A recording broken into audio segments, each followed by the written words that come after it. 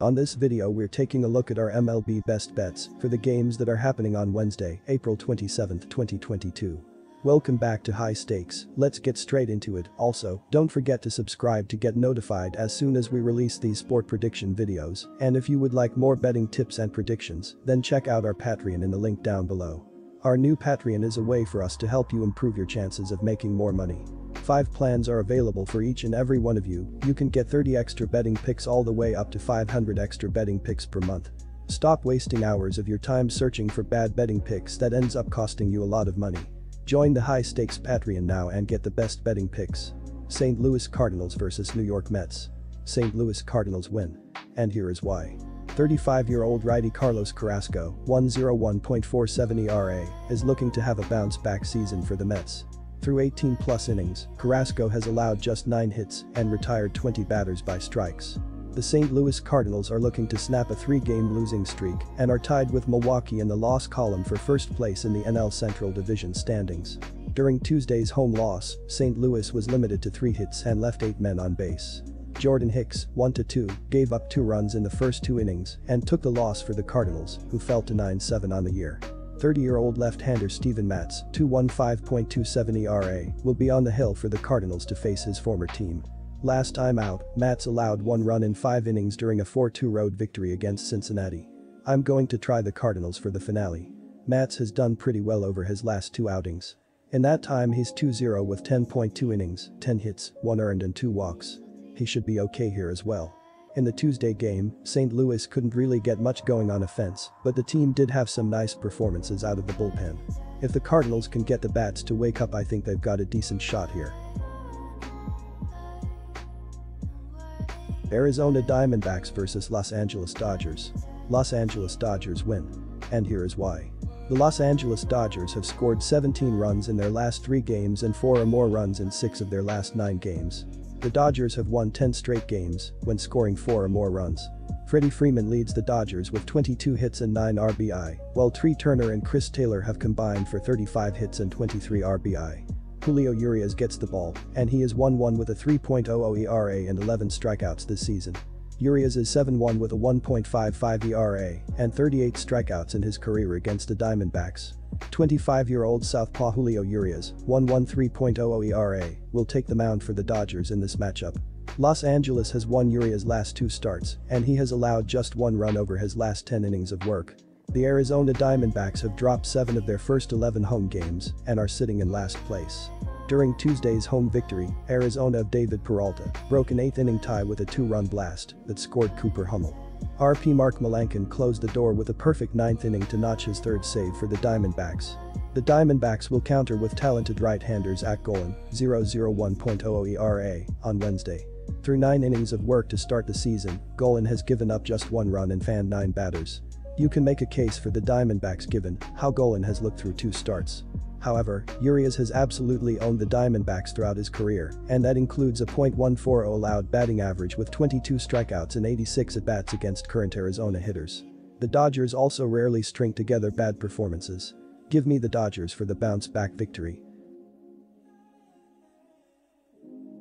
Pittsburgh Pirates vs Milwaukee Brewers. Over 7.5 runs. And here is why. The Milwaukee Brewers will look to build on their 12-8 win over the Pirates from Tuesday's series opener.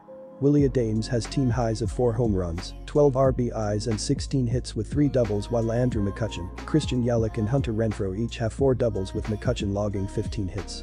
Aaron Ashby will start here and is 0-2 with a 3.18 ERA and 13 strikeouts this season.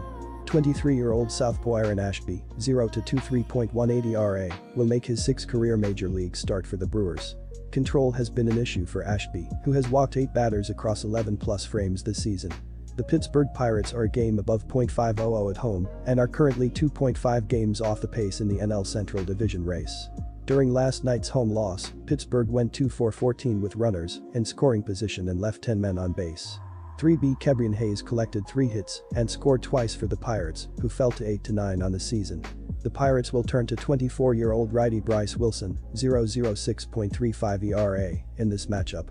Pittsburgh has won each of Wilson's first three starts, and he has more walks, 8, than strikeouts, 6. I get the case to be made for either side in this one, as I'm not overly fond of the pitching matchup between Aaron Ashby and Bryce Wilson. That being said, I still like the over regardless, because we saw these two offenses explode on Tuesday, and that was with a better pitching matchup than what we had here with Woodruff and Keller on Tuesday and Ashby versus Wilson here. I'm not sure we see 12-8 again, but I think this has potential to hit double digits as well, so give me the over here.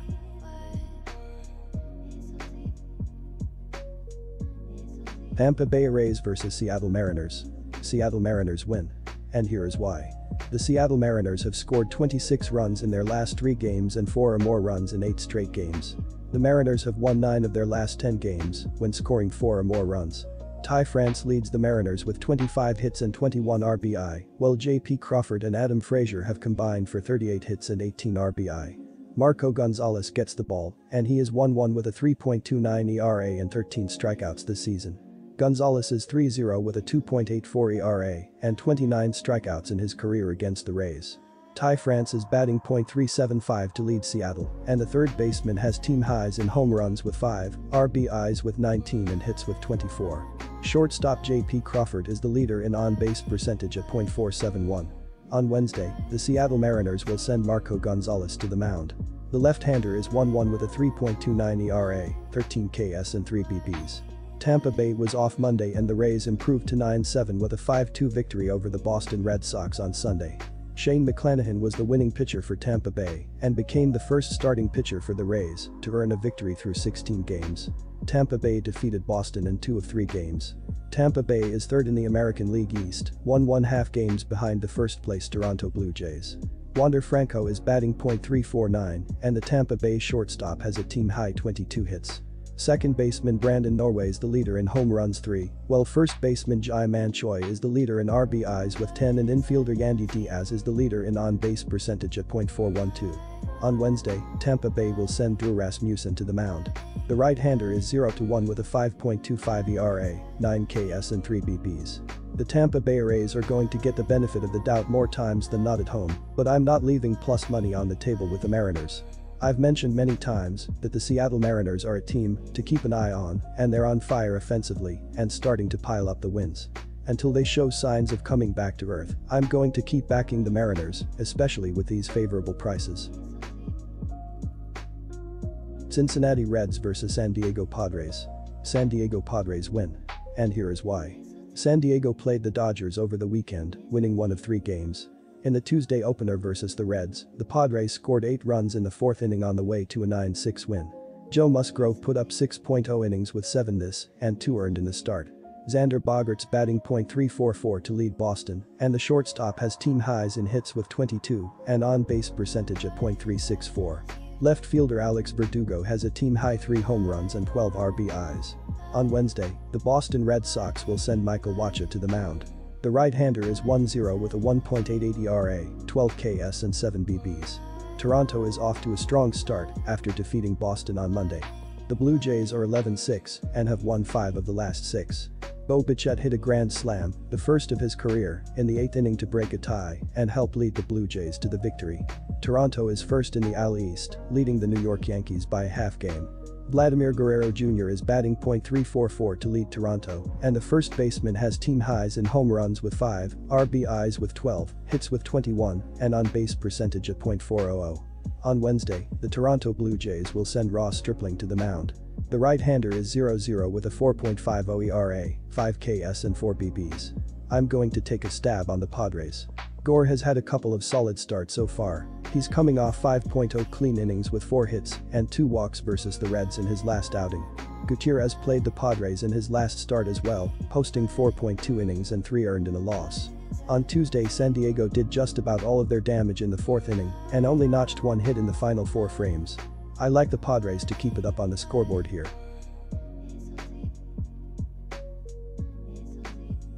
Chicago White Sox vs Kansas City Royals. Chicago White Sox win. And here is why.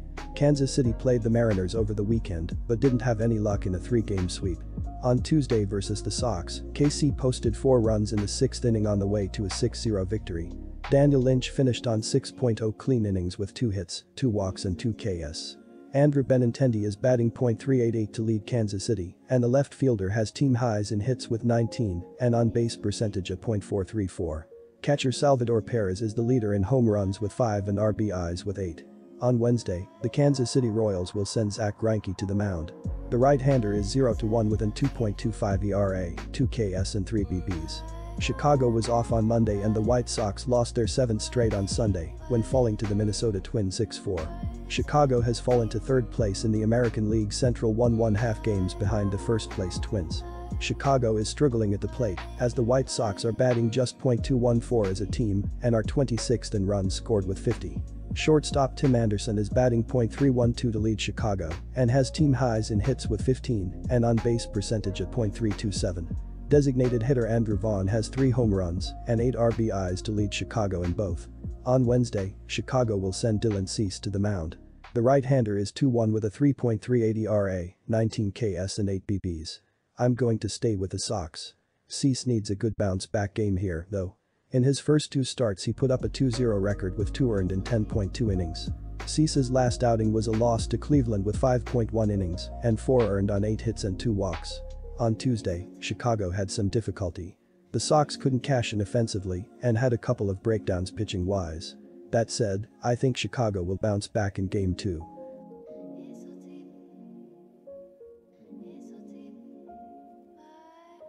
Atlanta Braves vs Chicago Cubs. Atlanta Braves minus 1.5 goals. And here is why. The Chicago Cubs have scored 25 runs in their last 5 games and 3 or fewer runs in 5 of their last 6 games. The Cubs have lost six straight games when scoring three or fewer runs. Ian Happ leads the Cubs with 17 hits and 10 RBI, while Nico Hoerner and Seiya Suzuki have combined for 34 hits and 21 RBI. Mark Leiter Jr. gets the ball, and he is 0-1 with 11.05 ERA and 7 strikeouts this season. This will be Leiter's second career game against the Braves. Mark Leiter Jr. will make his third start on the hill for the Chicago Cubs. Leiter is 0-1 on the season with 7.1 innings pitched, Leiter has 7 strikeouts and carries 11.05 ERA. The Atlanta Braves went into this series with the Cubs on Tuesday riding a two-game losing streak. Atlanta is 7-10 on the season and sit third in the NL East. The Braves have won 4 of their last 10 games and lost to Miami 5-4 on Sunday. Atlanta currently has the third most strikeouts in the MLB. Charlie Morton will make his fourth start on the hill for the Braves. Morton is 1-2 Sith 15.2 innings pitched. Morton has 14 strikeouts, 7 walks, and carries a 6.32 ERA. Leiter Jr. isn't off to the best start this season, and he hasn't had a great career up to this point, if we're being honest. You can say Morton has had his struggles as well, but he's shown us enough in the past, where we can assume he's going to get back on track sooner than alter. The Chicago Cubs are just a mess right now, and Leiter isn't a pitcher you're confident who can turn things around. Give me the Braves, and I'll take the RL, to shave down the price. Minnesota Twins vs Detroit Tigers. Under 7.5 goals. And here is why. The Detroit Tigers will look to snap a three-game losing skid after a 5-4 loss to the Twins on Wednesday. Austin Meadows has 16 hits as well as 9 RBIs, while Spencer Torkelson has a team-high 3 home runs and 8 RBIs so far this season. Jeimer Candelario has a team-high 3 doubles, while Miguel Cabrera has 15 hits with a pair of doubles, as well as a .294 batting average on the year. Michael Pineda will get the start in this one for Detroit and is 1-0 with a 0.00 ERA and 2 strikeouts this season. The Detroit Tigers are batting at .231 with 53 runs 112 bits and 7 home runs. Batting leaders for the Tigers are Spencer Torkelson with a .217 BA 8 RBIs and 3 home runs and Austin Meadows with 9 runs batted in and 0 home runs and .333 batting average. The Tigers are pitching 3.22 ERA and a 1.14 whip and 106 strikeouts. Starting pitcher for the Tigers is Mitchell Pineda-10 with a 0.0 ERA .60 whip with 2 strikeouts and 0 home runs through 5 innings pitched.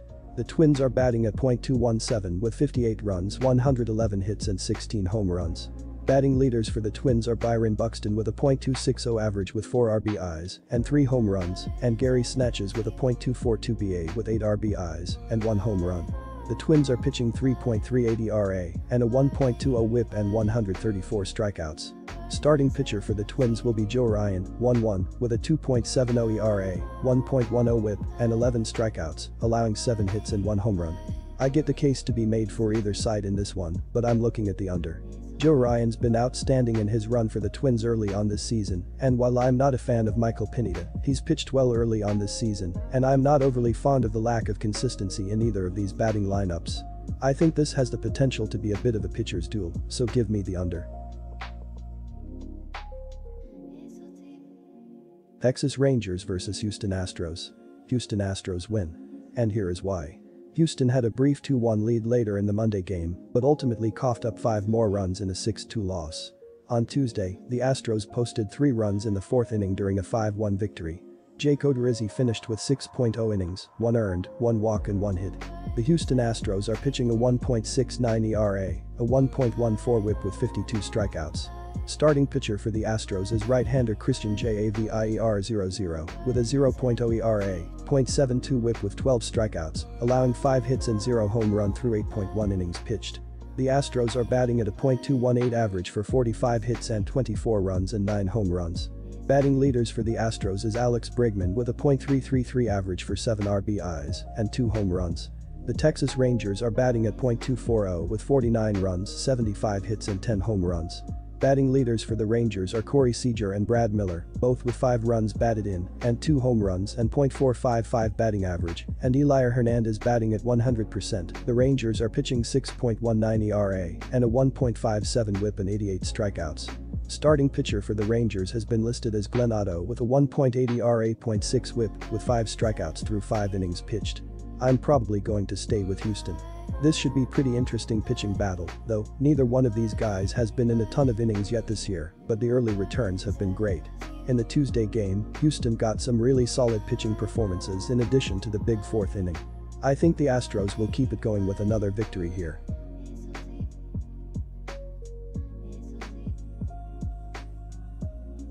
Los Angeles Angels vs Cleveland Guardians. Los Angeles Angels win. And here is why. The Cleveland Guardians have scored three runs in their last three games and three or fewer runs in five of their last seven games. The Guardians are 1-9 this season when scoring three or fewer runs. Jose Ramirez leads the Guardians with 21 hits and 20 RBI, while Myles Straw and Steven Kwan have combined for 31 hits and 9 RBI. Zach Plesac gets the ball, and he is 1-1 with a 1.53 ERA and 10 strikeouts this season. Plesac is 2-0 with a 2.81 ERA and 9 strikeouts in his career against the Angels. This year the Cleveland offense has been able to get a total of 75 runs scored and are hitting decent at a clip of .256 with a .321 OBP. The problem stems from the pitching with a 3.61 ERA and allowing the opponents to hit at a clip of .223. The Angels are coming here after beating the Indians in the opening game of the series. The second game the Angels were easily winning prior to this publication. The Angels are sitting in second in the AL West with a 10-7 record on the year. This year the Angels have scored a total of 82 runs on the year and are hitting at a clip of .247 with an OBP of .332. Pitching for the Angels has the team sitting on a 3.93 ERA and have allowed the opponents to hit at a clip of only .205 so far. The Cleveland Guardians can't get out of their own way right now, and a lot of it has to do with an offense that can't string together runs. I doubt things are going to change much when facing Shohei Ohtani, who has been flawless in two of his three starts this season and has 26 strikeouts in 14.1 innings. The Angels' offense is also showing signs of life. I have to lay the juice with the Angels at home with their ace on the hill.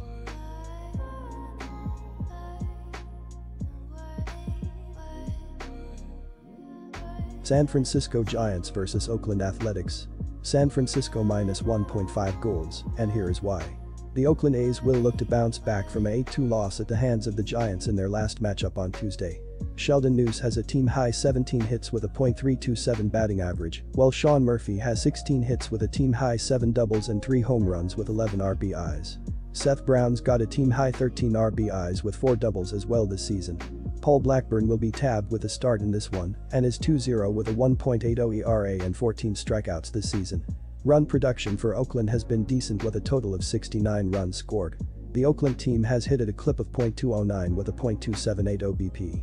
The pitching for Oakland is sitting at an ERA of 3.31 on the year and have allowed the opponents to hit at a clip of .232. The Giants are coming in with a very nice 12-5 record on the year. The last game on the field for T-Giants prior to Oakland was a win. The win was a single game against the Brewers and had a final score of 4-2. When it comes to scoring the Giants have put a total of 83 runners across the plate. The Giants are hitting at a clip of .238 with an OBP of .312. The pitching for San Francisco has been amazing with a 2.42 ERA and a .222 batting against average. I get the case to be made for an underdog in certain spots, and the A's will be the dogs here given their issues, as of late against a solid San Francisco team. However, while Paul Blackburn hasn't been terrible as of late, the A's offense, or lack thereof, has been pretty bad to be honest over the last week and I don't see this changing regardless of who gets the call for the Giants. I'll side with the Giants minus 1.5 here.